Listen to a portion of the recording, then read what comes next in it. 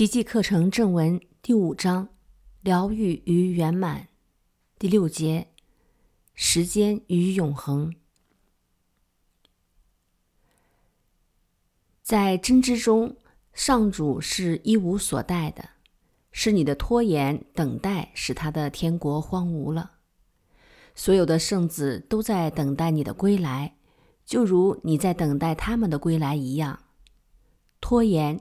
在永恒中并不是问题，但对活在时间中的人却是个悲剧。因你选择了时间而非永恒，自然会认定自己确实活在时间里。然而，你既有选择的自由，当然也有改变它的自由。你原本不是活在时间内的，永恒才是你的家乡。那是上主亲自为你准备的永恒居所。罪疚感是时间的守护者，它勾起人们害怕报应或深恐被弃的心理，因而想尽办法确保未来会和过去一样。这给了小我一种延续性的存在感。这苟延残喘的存在感给了小我一种安全的假象。使他相信你已成了他的阶下囚，然而你是可能也必须逃出他的魔掌的。上主赐你永恒的延续性来与你交换。你若决定接受这一交易，你等于同意以喜悦来换取罪疚，以爱心来换取凶恶，以平安来换取痛苦。我的任务只是帮你解除意志上的桎梏，还给你自由。你的小我无法接受这种自由，他随时随地都在想尽办法加以阻挠，从中破坏。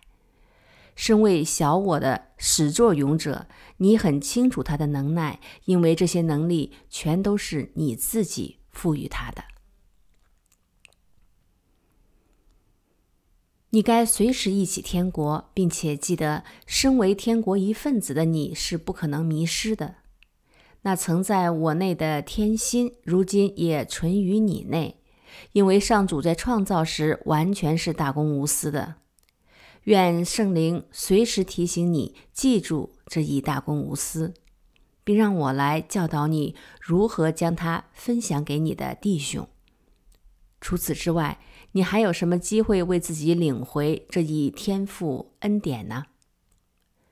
世上每一件事都会同时出现两种声音，传达两种不同的诠释。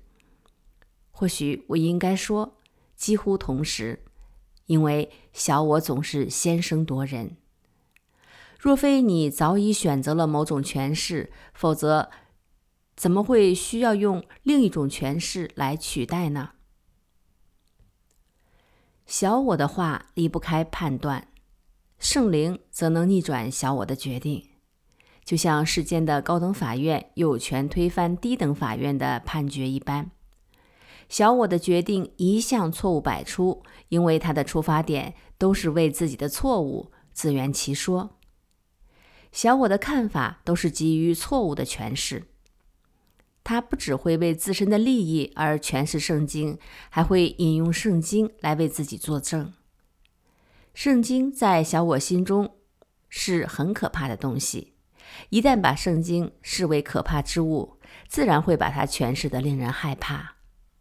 恐惧心一起，你便不敢向最高法院陈请了，因为你相信他的判决同样会不利于你。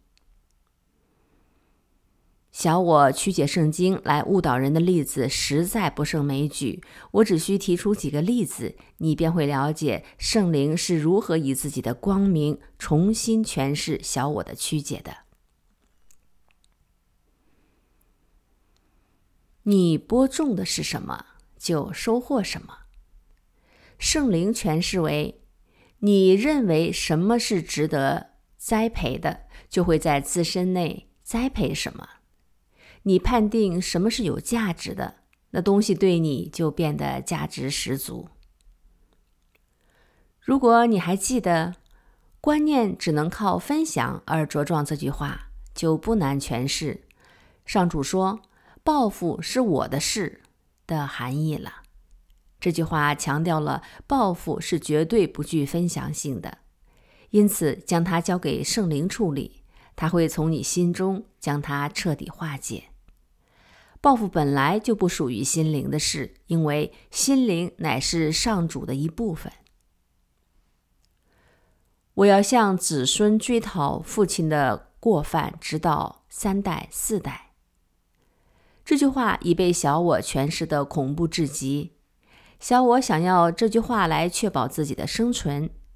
圣灵的诠释是：即使千代万代之后，他仍能重新诠释前几代所误解的事，解除那些想法所滋生的恐惧。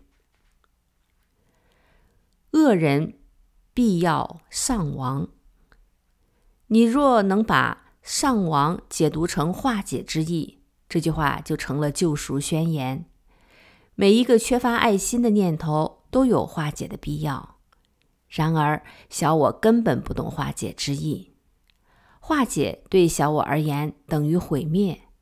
小我既是你思想的一部分，是不会被毁灭的，只因它不具创造力，故也没有分享的可能。你只需重新加以诠释，便能由恐惧中轻易脱身。你托付给小我的那一部分心灵，只有回归天国一途，那才是你整个心灵的归宿。你最多只能延误天国的圆满，但你绝对无法让恐惧的概念混迹其中。你不用怕高等法院会判你的罪，他必会驳回所有控诉你的案件。没有任何控诉上主儿女的案件能够得逞。凡是挺身证明上主的造化有罪者，等于诬告上主自身。欢心的把自己心中所有的信念都向上主的高等法院申冤吧，他会代上主发言的。他的审判必然真实不虚。不论你如何谨慎的具状。他都会驳回所有对你的控诉，不论这些案件看起来多么证据确凿，也无法在上主跟前站得住脚。圣灵不会听信他那一套的，他只可能为真理作证。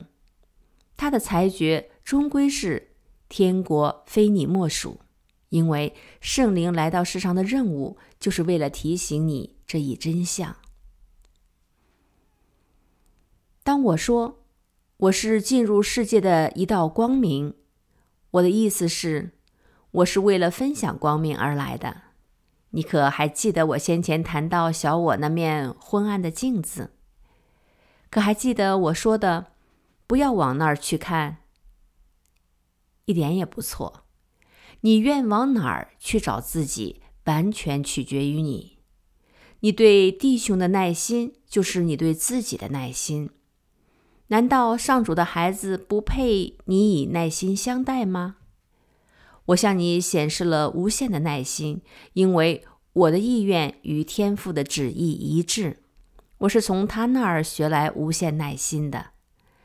他置于我内的天音，如今也在你内。他要你因造物主之名，耐心的对待圣子奥体。唯有无限的耐心，才能产生即刻的效果。这是你此生必修的课程，也是你把时间转为永恒的途径。无限的耐心唤起无限的爱，透过当下的效应，让你明白了时间的无足轻重。我们再三强调过，时间只是一种学习的教具而已。当它派不上用场时，就可以撤销了。圣灵虽然进入时间领域中为上主发言，但他深知时间毫无意义。他在分秒流逝的时间中不断提醒你这一真相。他在世的特殊使命就是将你领回永恒之境，在那儿继续祝福你所创造的一切。他是你能。真正给人的唯一祝福，因为他是真正蒙受祝福者。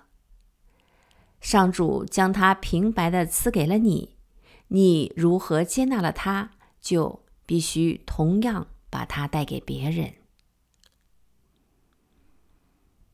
本课结束，请继续下一课。